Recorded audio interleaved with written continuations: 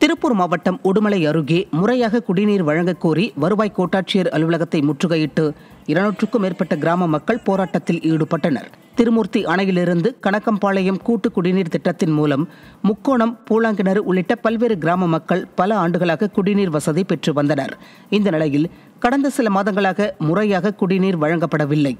இதுகுறித்து பலமுறை போராட்டம் நடத்தியும் பயன் இல்லாததால் கிராம மக்கள் வருவாய் கோட்டாட்சியர் அலுவலகத்தை முற்றுகையிட்டு போராட்டத்தில் ஈடுபட்டனர்.